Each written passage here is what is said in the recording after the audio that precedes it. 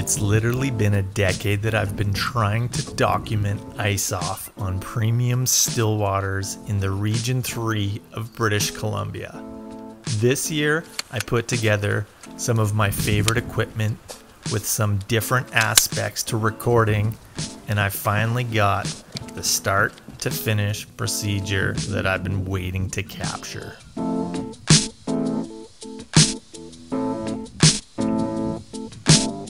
Drones can be an amazing tool when you're videoing the outdoors, especially in wide open spaces, but they can pose extreme challenges, especially in sub zero temperatures, and not to mention during hailstorms, rain, and sleet.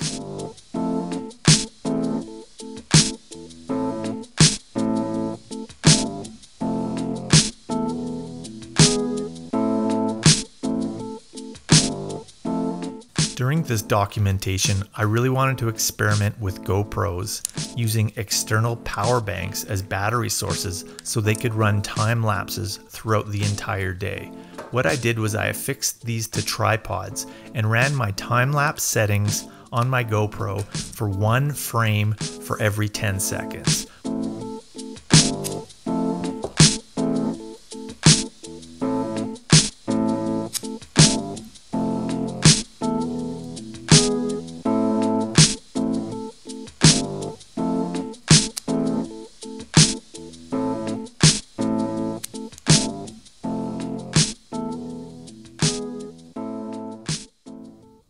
Welcome to day one of a time lapse from 7 a.m.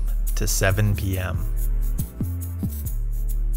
As you can see, the systems are changing and the shoreline is just starting to melt away from the warmer rocks and vegetation.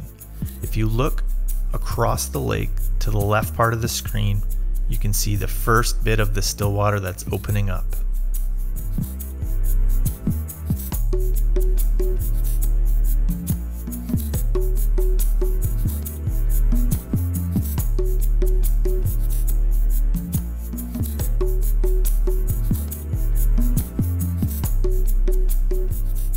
Nature also seems to just wake up or get ready to move while this incredible procedure begins. Welcome to day two.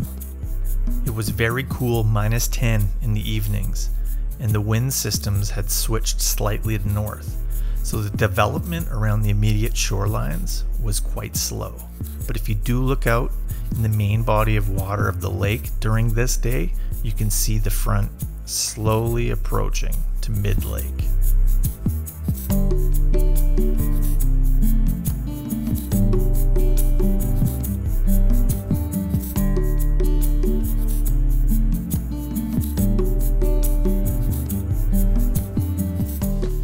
Hey, you. What are you doing? The rain had crept slowly into the forecast, and there were also some sub zero temperatures during the days, but I had two lakes to monitor, with one being about three days behind the other.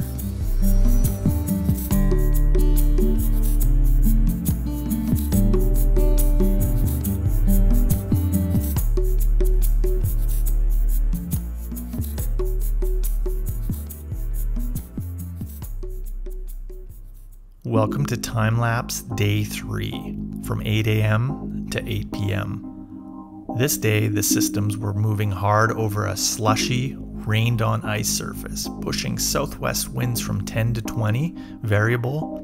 This was like a bulldozer effect, as you can see.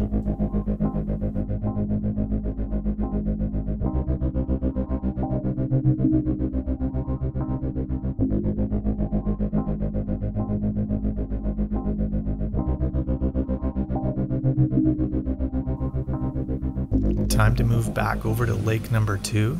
After all this rain, the lake had this weird porous, broken up surface. More rain. Actually, that's hail. As you can see from the rain, it almost became just slushy, stagnant bodies of ice that were kind of just floating around and moving with the breeze from section to section, but still habitating a mass part of the lake.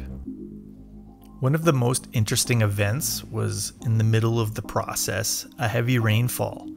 What it had produced was large, broken up, almost football field sized sections of free floating slush.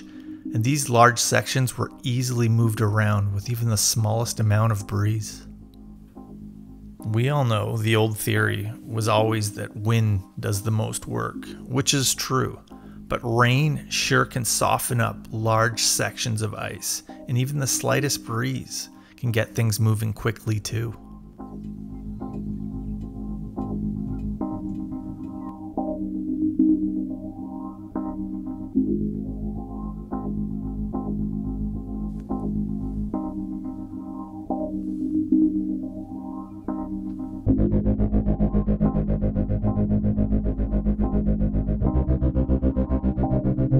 Thank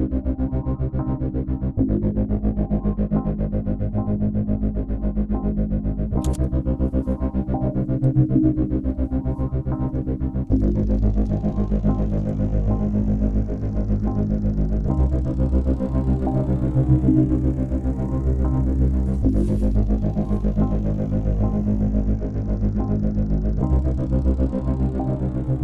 Welcome to day four, six hour time lapse captured from 1 p.m. to 7 p.m. I thought for sure this was the day with southwest winds from 10 to 15 kilometers per hour that the lake would be completely iced off. But as you can see, things got chalked up in the north end and were moving quite slowly.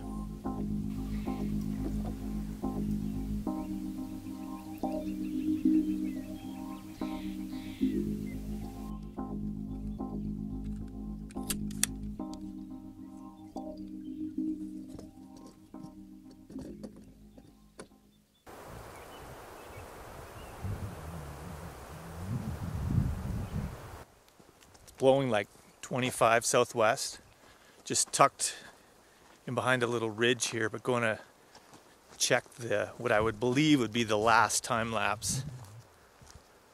Pretty sure that this storm will clear off any of the ice that's remaining, so we'll go have a boo.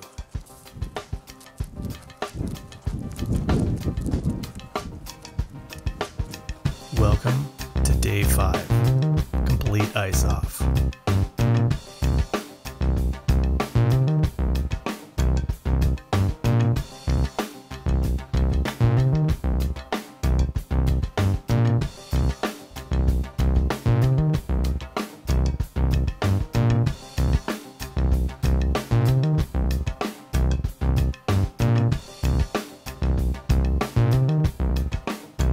Beautiful thing.